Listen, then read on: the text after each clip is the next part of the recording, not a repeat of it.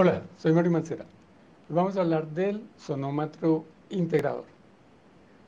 Y vamos a utilizar un sonómetro integrador marca Cirrus. Entonces, dentro de lo que vamos a ver, vamos a ver sus partes, el funcionamiento del mismo, la forma de calibrarlo, cómo hacer la medición. Hacer eso fundamentalmente.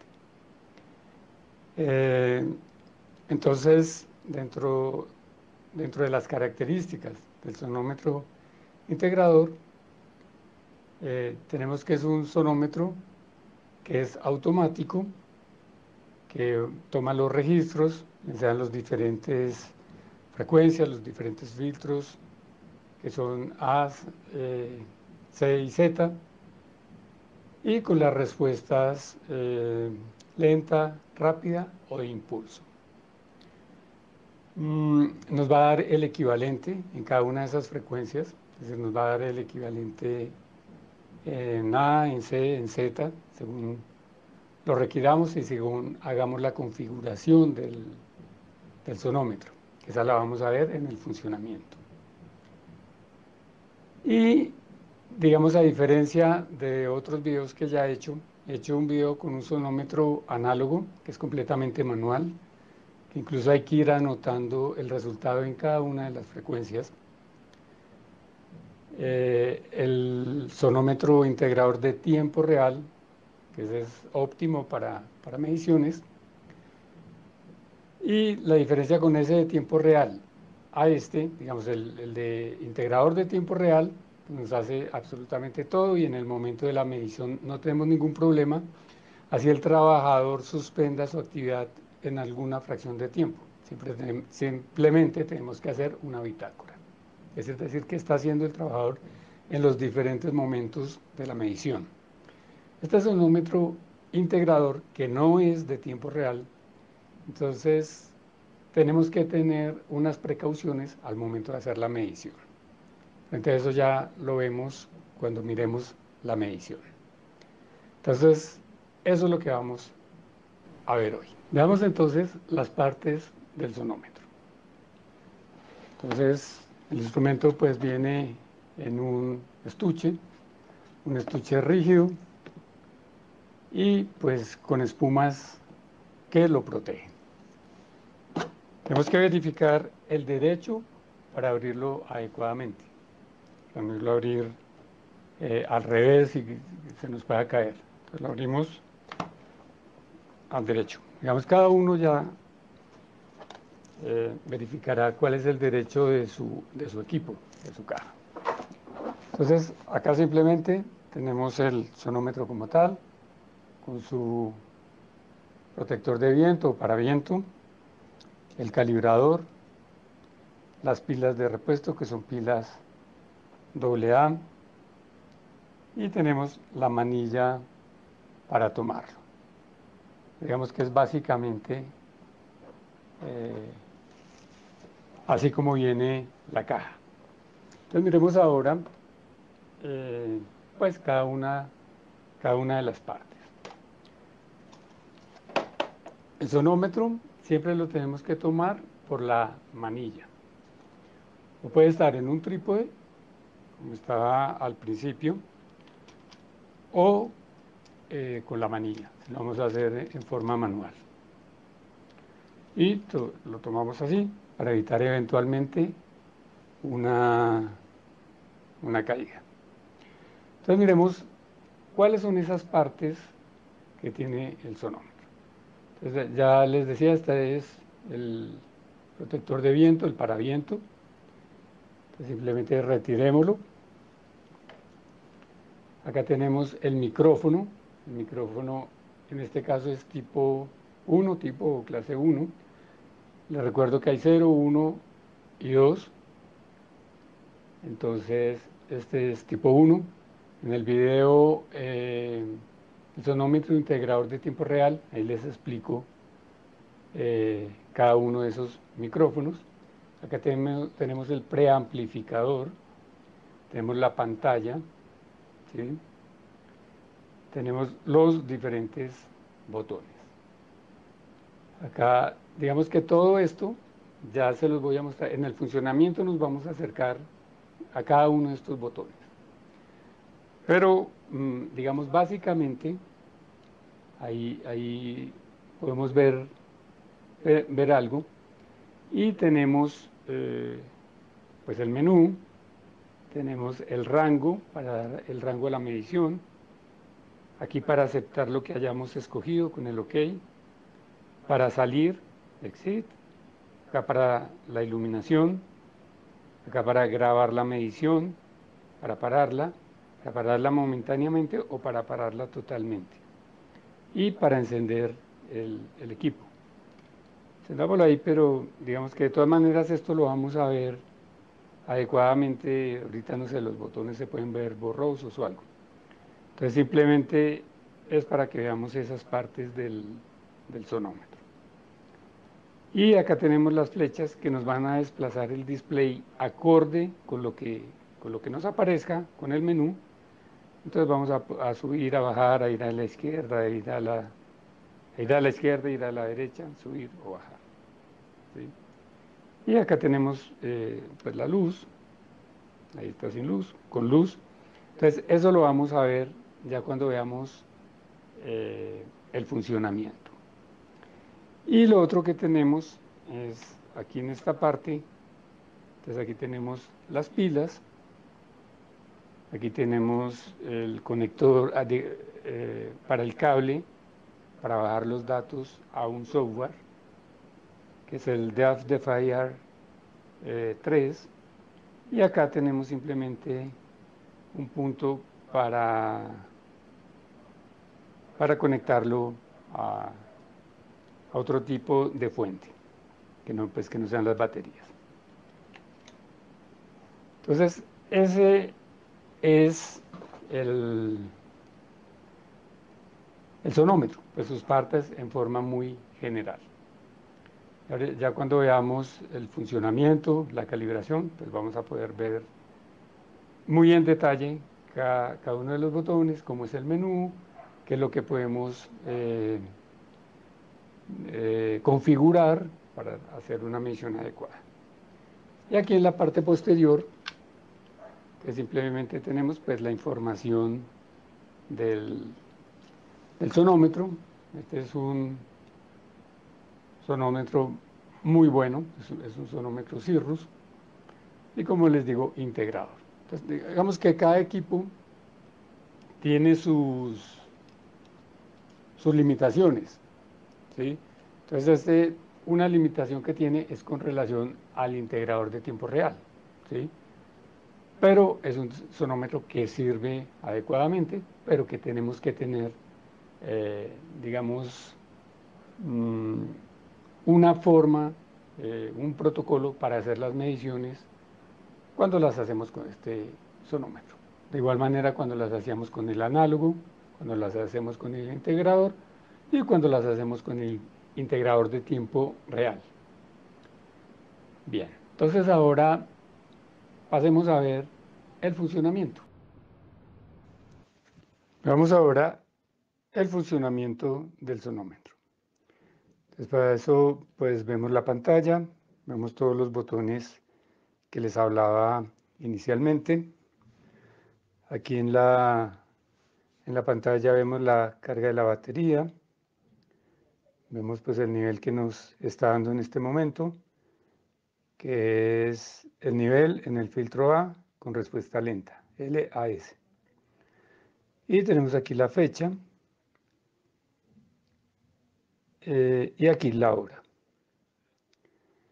Entonces ahora empecemos a, a ver estos, estos botones. Entonces miremos el rango. Entonces el rango es una función que me permite colocar el sonómetro entre 70 a 140 decibeles, 60 a 130, es decir, diferentes rangos.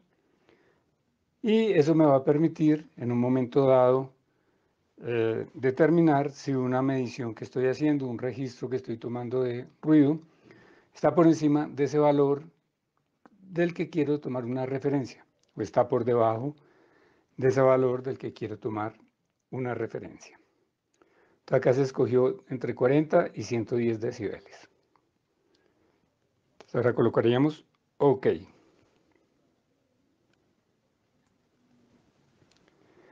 Entonces ahí volvemos a la pantalla. Miremos ahora el menú. Entonces el menú me permite calibrar, no vamos a calibrar ahora, vamos a calibrar más tarde, aun cuando siempre antes de un ciclo de medición hay que hacer esta calibración. Después de un ciclo de medición hay que hacer esta calibración, que esta es una calibración ajuste. Hasta que veamos la calibración les explico eso. Podemos escoger banda ancha, podemos escoger eh, bandas de octava, tercios. Escojamos banda de octava. Entonces con esta flechita abajo, con esta subo, derecha, izquierda. Entonces vamos a bajar para escoger bandas de octava. Entonces tenemos banda de octava y OK. Bien. Ahí como hicimos el, el OK, pues nos salimos. Entonces volvamos al menú. Pero ya está escogido bandas de octava. Ya sigamos viendo las posibilidades del menú. Entonces, run duration, la duración. Entonces, eh, aparece esta flechita, entonces vamos a ir a la derecha para... Y nos dice, un minuto, cinco minutos, diez minutos, treinta minutos, nos va a dar varias opciones. ¿Sí? Una hora, ocho horas, doce horas. Y que el usuario determine ese, ese tiempo. ¿Cierto? Entonces lo vamos a dejar en un minuto como está. Ahí puedo escoger también, hay algo que se llama auto repeat. Este auto repeat lo que va a hacer es eh, que si yo lo escojo, entonces me va a repetir la medición un número de veces. Entonces yo puedo poner que la medición sea de, 15 minutos y que me la repita cuatro veces. Es decir, voy a tomar una hora. Entonces, miremos esas opciones. Entonces, con la flechita. Entonces, auto repeat está apagado. Pero si lo prendiera, subamos y lo pongo en on. Entonces vamos a, dejar en on, ok. Entonces aquí me aparece set number. Entonces voy a colocar el número de veces que, quisiera repetir. Entonces set number y ahí, pues, ahí está cuatro veces, ¿sí? Pero lo puedo cambiar, digamos con estas flechitas. Entonces lo puedo poner, ah, perdón, eh, me cambia cada dígito. Aquí, me empezó a cambiar el primero, entonces quedó 204 veces. Entonces bajémoslo, que va a quedar en cero. El segundo dígito está en cero y este último dígito, ¿sí? Está en 4, el de unidades. ahí tendríamos unidades, decenas y centenas. Entonces unidades está en 4. Si lo quiero cambiar, lo subo a 5, a 6, lo que quiera. Dejémoslo otra vez en 4, aun cuando lo vamos a dejar apagado. Entonces ese sería y colocaríamos OK. Pero apaguémoslo. Entonces subamos. OK. Entonces lo dejamos apagado porque no quiero que me haga esa repetición. Y, nos, y, vamos a regresar. Ese autorrepite. Ahora bajemos a ver qué otra opción hay. Sincronización. ¿Esa sincronización qué es? Esa sincronización eh, o autosincronización nos va a servir para tomar unas mediciones en un momento dado. Por ejemplo, quiero tomar mediciones entre las 12 y la 1, exactamente entre las 12 y la 1. Y quiero que esas mediciones sean de 10 minutos. O sea, me va a tomar 6 mediciones en ese horario. Pero si yo empecé a hacer las mediciones a las 12 y 5, porque digamos eso nos va a sincronizar las mediciones con el reloj del sonómetro. Entonces yo tengo esas mediciones, empecé a las 12 y 5, entonces ya perdí 5 minutos. Entonces lo que va a hacer el equipo es que esa primera medición me la hace solo de 5 minutos, ya no de 10. Sino me la hace de 5 minutos y las demás siguen de 10 minutos. O sea, me hace ese ajuste. Entonces miremos con la flechita esa sincronización. Entonces está on o está off. En este momento está on. Digamos que ahí no interesa porque de todas maneras no tenemos el, el auto repeat. Bien. Entonces, regresemos y ya no hay más, más opciones de ese menú. Entonces simplemente regresemos. Estábamos en Run Duration, ¿cierto? Entonces sigamos hacia abajo para seguir viendo las otras opciones. Memory. Entonces la memoria, simplemente, entonces activemos acá. Simplemente me va a decir la memoria que está disponible y limpiar la memoria, es decir, borrarla. Entonces miremos la memoria disponible. Entonces simplemente me va, a decir el porcentaje de la memoria libre, o sea, el 75% está libre.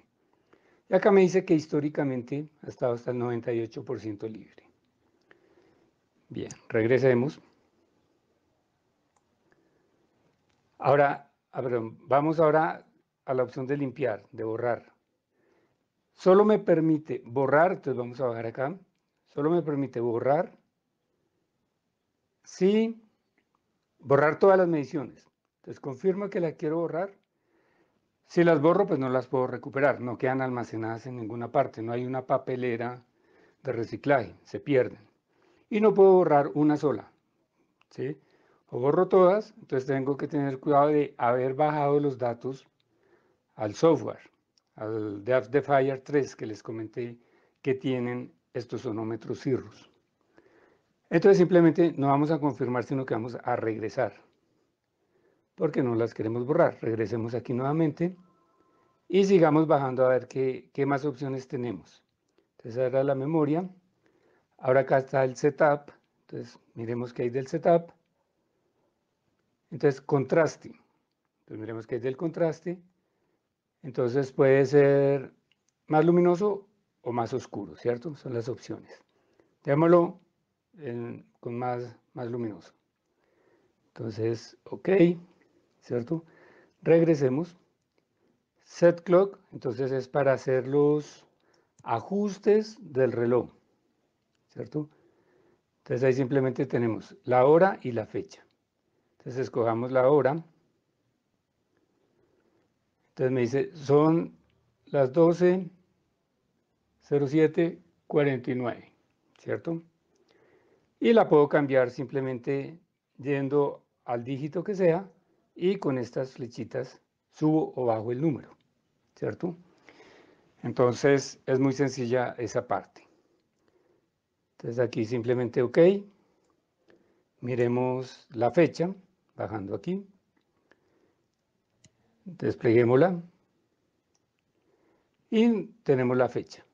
Día, mes, año. Igualmente, entonces podemos recorrer y con las flechitas subir o bajar para cambiar esa, esa fecha. Pues la vamos a dejar así porque es como pues es la fecha actual.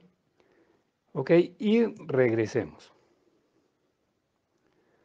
Ahora tenemos acá el nivel de calibración. Entonces bajemos para ver el nivel de calibración, despleguémoslo.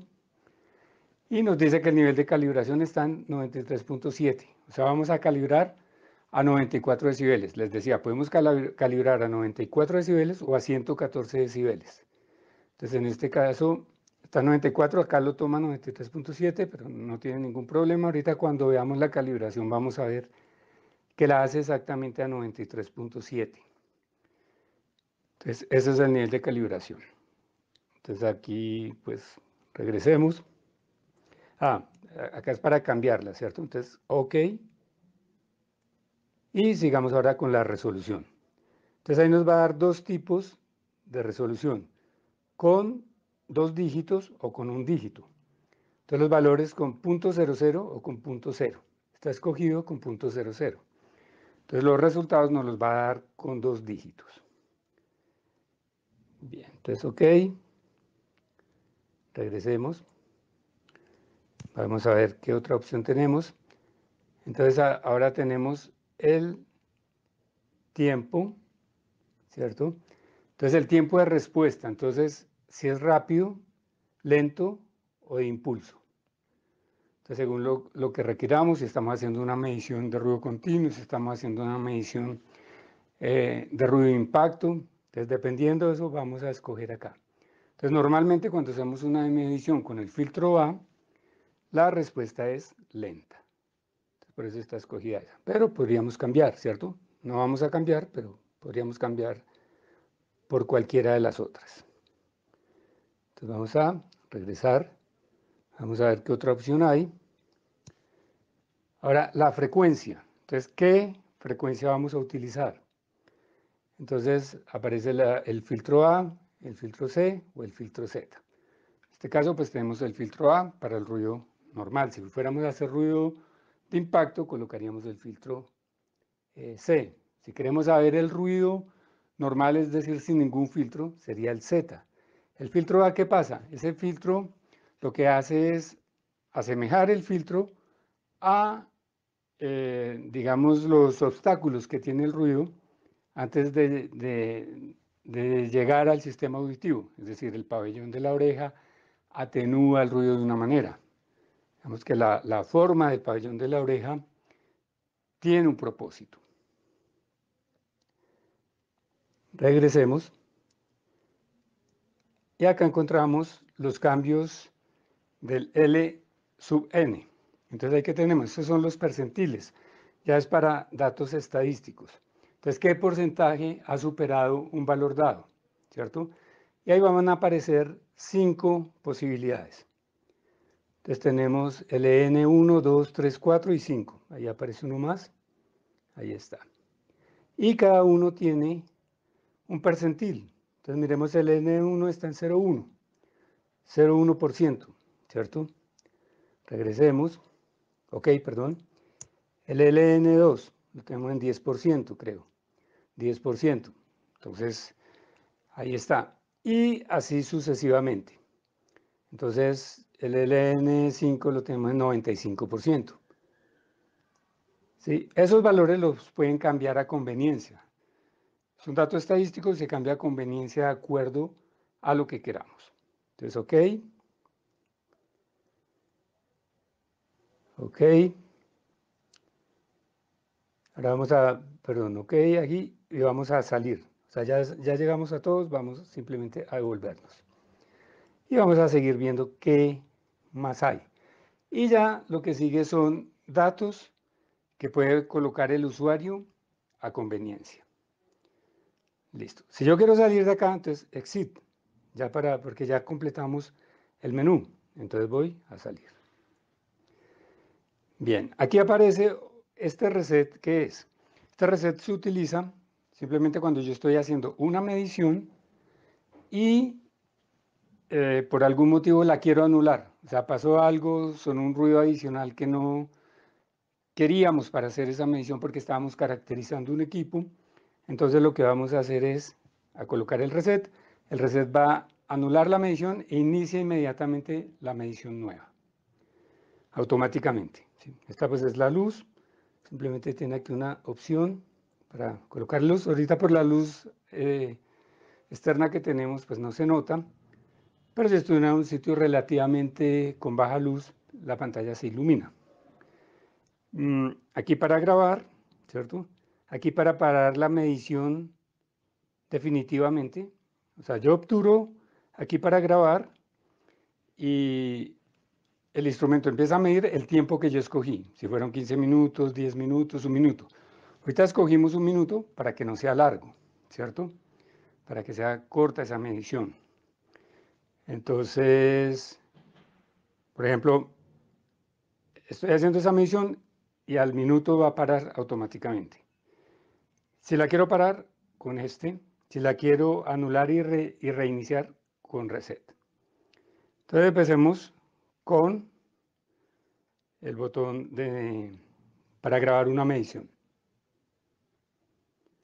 Entonces ahí empezamos a grabarla. 31.5 Hz 62.5 Hz. Entonces recuerden que él me va a distribuir en fracciones de tiempo esa, ese tiempo que escogí. O sea, el minuto que escogí lo va a distribuir en las frecuencias de octava. Entonces va a ser más o menos como 4 segundos por cada, por cada frecuencia. Entonces me va, Ya vamos en 1000 Hz, ¿cierto? Ahí está midiendo, pasa a 2000 Hz, ¿sí? Ahí va a seguir a 4000, estamos ahí en 4000. Acá nos está indicando uno a uno, que es bandas de octava, ¿cierto? 16.000 eh, Hz. Y ahora me va a decir en los filtros. Entonces ahora vamos a ver qué me está diciendo en el filtro A. Ese es el equivalente. En el filtro C, entonces me va a ir dando la, va a ir tomando la información y la va a traducir al final en un equivalente. En el filtro Z. Y ahí termina la medición. Entonces aparece un gráfico con las diferentes frecuencias. Cuando nosotros bajamos esto al, al, software, entonces tenemos la posibilidad de imprimirlo, tenemos la posibilidad de agregarlo en un informe con el filtro que queramos. Esa correspondió a la medición 220. ¿sí? Entonces, ese es el, el, proceso. Ahora queremos mirar datos relacionados con esa medición 220. Entonces, con esta flechita voy bajando y voy viendo las posibilidades. Ahí, ¿qué, qué pasa? Veo la gráfica bajo y empiezo a ver las frecuencias con su respectivo ruido. Entonces en 31.5 Hz me dio 48.67 decibeles. Porque está con dos dígitos. ¿Recuerdan la resolución? Si estuviera con un dígito, no diría 48.67, sino 48.7 en ese caso. Y aquí para 62.5, 125, 250, seguimos bajando, 500, 1000, 2000, 4000, Seguimos bajando, 8000, 16000 Hz. ¿Cuánto fue el ruido? Y ahora me va a decir los datos de esa medición 220 para los filtros. Entonces, con el, con el filtro A, con el filtro C, con el filtro Z. Esos son los resultados. Y ya no hay más información. Si bajo, pues ya no hay más. Entonces simplemente subo para ver otra información y ahí hacia arriba tampoco hay nada. Después, la gráfica es lo primero que aparece. Si yo quiero ver otras mediciones, vamos a la 220, yo quiero, aquí empecé en la primera, entonces fíjense que la primera fue una calibración, entonces hice una calibración a 93.7 y ahí aparece el ajuste, más 0.5, ¿sí? Entonces, esa es la forma. Si quiero ver la segunda medición que tiene, esta es la medición segunda que se hizo con sus datos de igual manera como les acabé de mostrar. Entonces las frecuencias, luego los filtros, el equivalente en A, en C y en Z.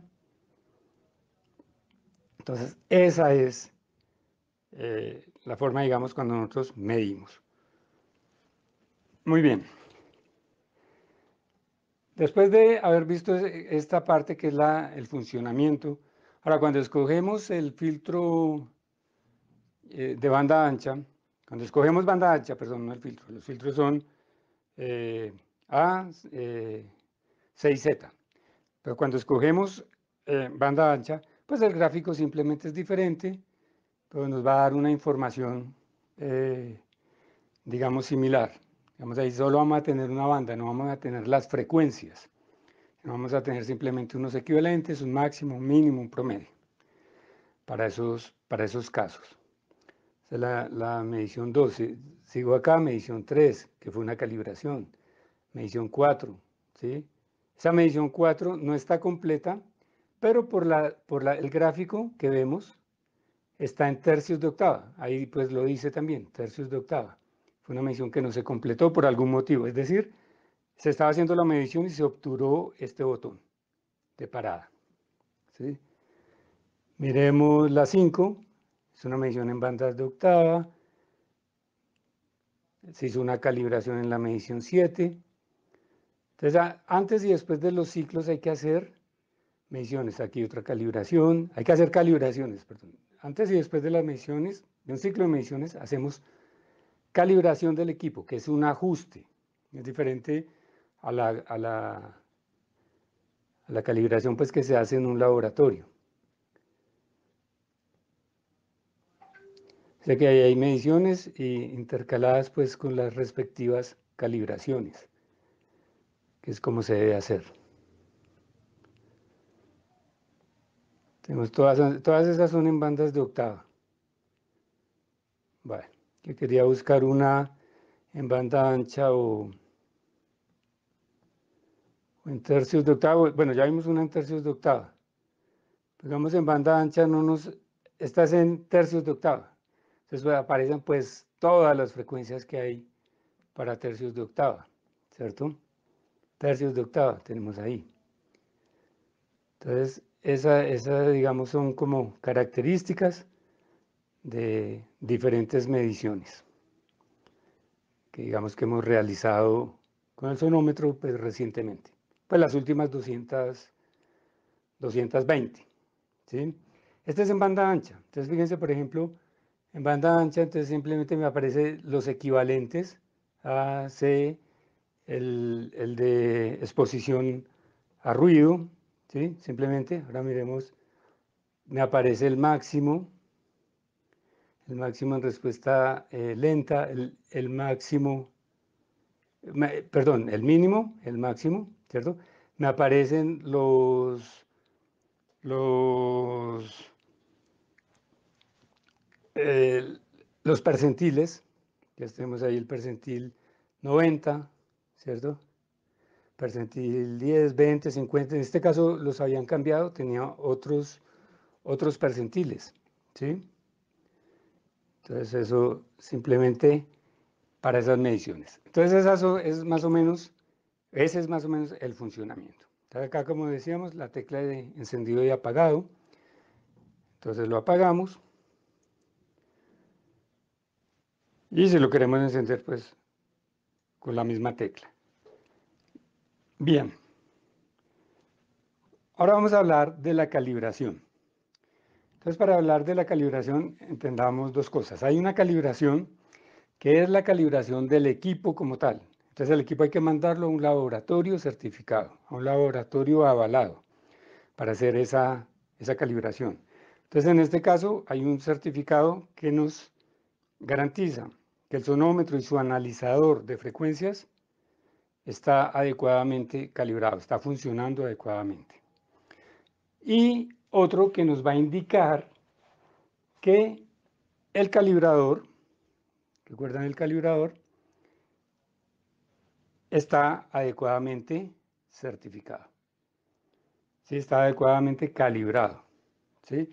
Porque la calibración que yo hago con el calibrador, cuando les decía, cuando lo empato, que ahorita la vamos a hacer, esa es una calibración de ajuste. Cuando nosotros hacemos las diferentes mediciones, el sonómetro puede, digamos que sufre ciertos impactos y se va desajustando.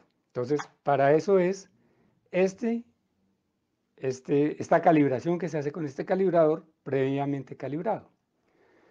Entonces, simplemente miremos esos, esos certificados. Entonces vamos a tener un certificado para el, el sonómetro con su analizador de frecuencias, ¿cierto? es un certificado de, calibración. Tenemos un certificado similar, pero entonces para el calibrador, ¿cierto? En este caso tenemos este certificado. Y en este caso estos certificados son de, del Reino Unido, es donde nosotros tenemos o donde adquirimos el, el sonómetro.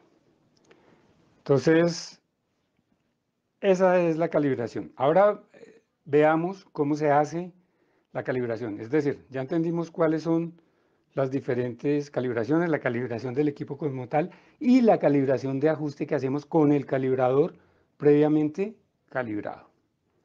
Entonces vamos a ver eso a continuación. Para hacer la calibración, entonces simplemente pues, necesitamos de un calibrador. Este es el calibrador. Ahí si alcanzamos a ver los los datos.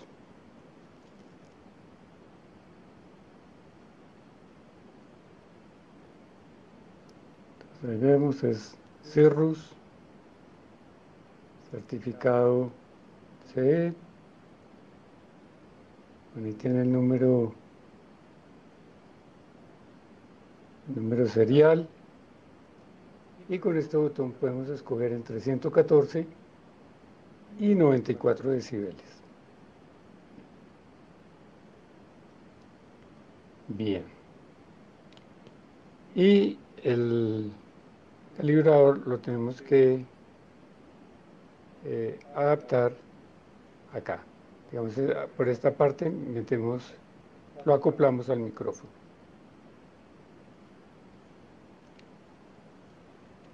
Bien, y el sonómetro, pues simplemente recordemos que tiene una opción para, para calibrarse.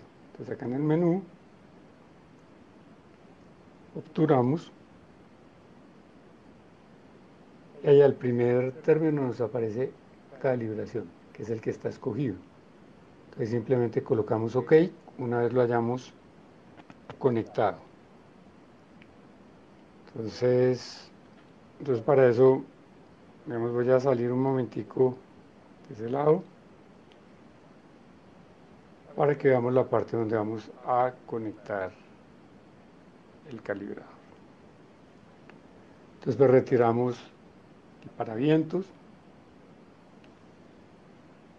y prendemos el calibrador en 94 decibeles. Ya lo tenemos, está prendido 94 decibeles y lo acoplamos. Este, acoplamos que quede bien acopladito. Y vamos a colocar entonces aceptar o ok en el, en el menú entonces aquí simplemente dice calibra, calibración. Entonces colocamos en el menú OK, ¿cierto? Lo damos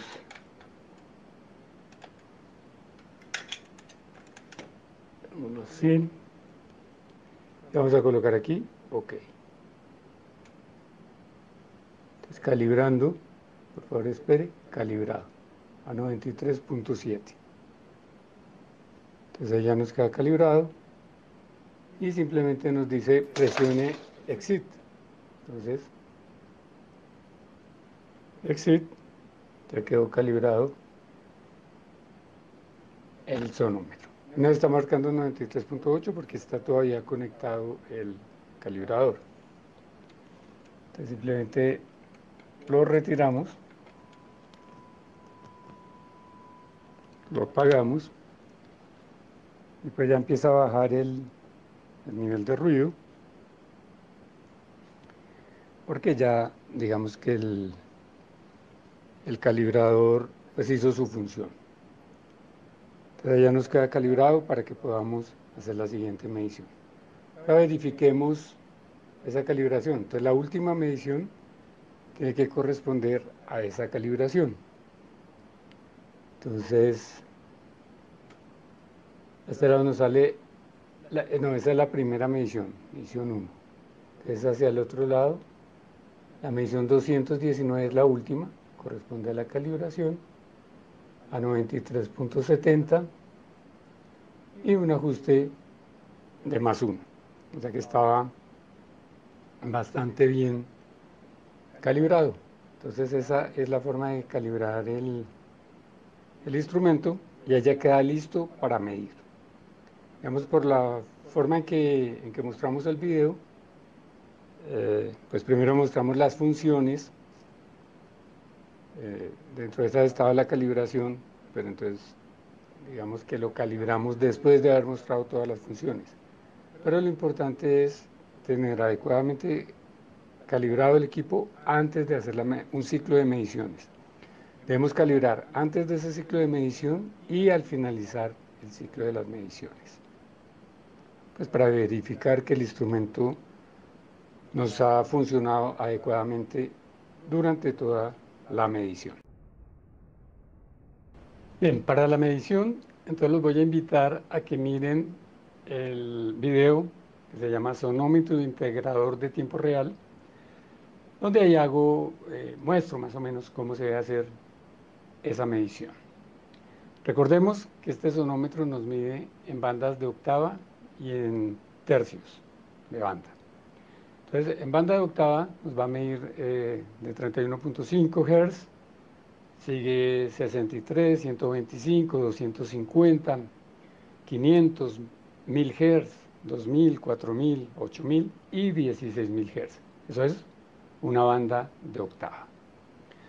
Y cuando medimos en tercios de banda, entonces ahí vamos a tener, digamos, una, un aumento en las frecuencias, por supuesto. Entonces vamos a tener desde 20 Hz hasta 20.000 Hz.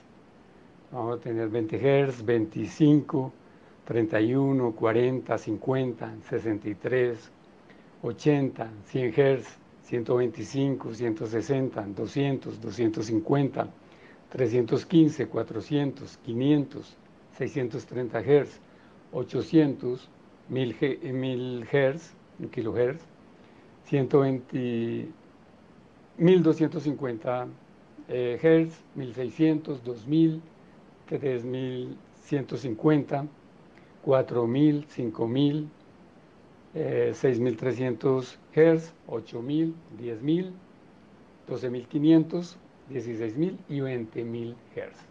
Entonces, esa es la, la diferencia entre bandas de octava y tercios de banda. ¿Cuál se mide en un caso o en otro? Entonces, eso depende de la legislación, depende de las normas técnicas, ¿sí? Pero si nosotros queremos tener una mejor información, pues es mejor utilizar en tercios de banda, ¿sí? Cuando no es estrictamente necesario. Pero por ejemplo, en el ruido normalmente vivimos en bandas de octava, que eh, digamos nos pasa 2000, 4000, 8000, ¿cierto? De 4000 a 8000. Es decir, no tenemos las frecuencias eh, que sí nos aparecen en tercios de, banda de 5000 y de 6300 Hz. Luego ya sigue 8000 igual que, las de bandas de octava.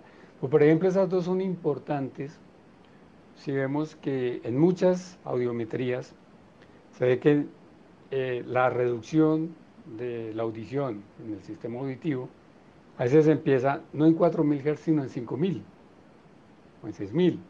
Entonces, si ocurre eso, entonces sería interesante tener eh, registrado ese nivel de ruido en esa frecuencia, para poder hacer una epidemiología mucho mejor, ¿cierto?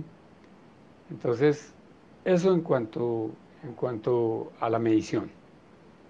Entonces, eh, con este instrumento, les decía, tenemos que tener una diferencia de cómo la hacemos con el que es de tiempo real. O sea, en el video pueden mirar cómo se usa el sonómetro, cómo, digamos, lo colocamos a la altura del pabellón auditivo del trabajador, etc. Eso está en ese video. Entonces, por favor, mírenlo. Y miren en esa parte, ese video está por capítulos, entonces pueden ir directamente a medición las cogen, desde para que no vean todo el video si no quieren, y miran solo la parte de medición y, pues ven, de igual manera medimos con los otros sonómetros, pero con este, ¿qué cuidado tenemos que hacer? Entonces yo tengo un trabajador que está eh, con un equipo, con un taladro percutor, por ejemplo, y estoy midiendo el ruido, y quiero caracterizar ese ruido. Entonces empecé a hacer la medición y el trabajador paró. ¿Sí? Dejó un ratico, hizo algo y luego volvió y arrancó. Entonces, ¿qué pasa? Si yo dejo este eh, instrumento midiendo eh, en forma seguida, entonces, ¿qué pasa? Este instrumento, ¿qué particularidad tiene? Que cuando yo lo pongo 15 minutos a medir, entonces él me divide esos 15 minutos en las frecuencias. ¿Sí? Entonces, una fracción del tiempo se va a ir para 31.5 Hz. La siguiente fracción de tiempo, en tiempos iguales lo divide, va a ser para 63 Hz. La siguiente para 125. La siguiente fracción de tiempo para 250 Hz. Y así sucesivamente hasta que llegue a 16.000 Hz, donde terminaría los 15 minutos. ¿Sí? Si lo puse a medir 30 minutos, entonces me va a dividir los tiempos igualmente, empezando con la frecuencia más baja, sigue con la siguiente, con la siguiente, hasta que completa todo el tiempo en todas las frecuencias. Entonces, ¿qué pasa si el trabajador para? que si paró, por ejemplo, cuando estábamos en 125 y 250 Hz, pues esa medición, esa, esa frecuencia de 125 y 250 me quedó a otro ruido, es decir, al ruido de fondo que habría sin utilizar el, taladro percutor, que es el que yo quiero caracterizar. Entonces, una de las, formas para caracterizar un equipo es, con este sonómetro, ¿cuál sería? Que el trabajador utilice el sonómetro, el, el taladro percutor todo el tiempo que dure la medición. Si por algún motivo no se puede, solo se puede en cinco minutos, así se puede dar un minuto, nos serviría, porque nos queda bien caracterizado. Entonces, porque estamos todo el tiempo con ese sonido del taladro percutor. Entonces, por ejemplo, me dice, no, yo solo cinco minutos porque tengo que alternar con otras actividades. Entonces lo hacemos cinco minutos.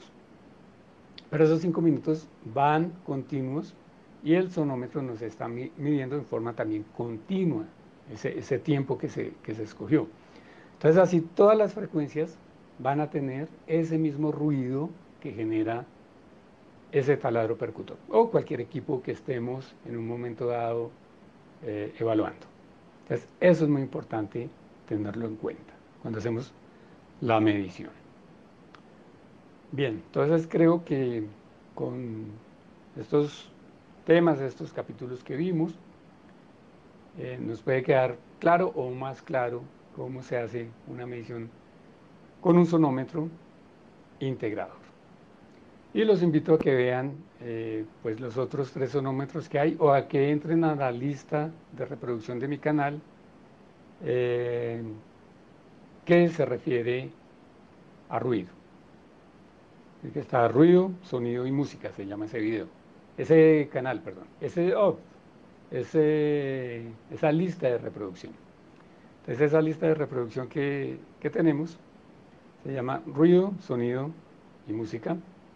Entonces ahí van a encontrar todos los videos relacionados con, pues, con ruido, con sonido y con música. Y, ahí tengo, los, pues están obviamente los tres videos de esos tres sonómetros. Ese sonómetro análogo que es marca Simpson, del sonómetro integrador, de, integrador que es este, que es el Cirrus, y el integrador de tiempo real, que, fue, que ese lo hice con un Casella. Entonces espero que les haya gustado el video, que les sirva y nos vemos en el próximo video.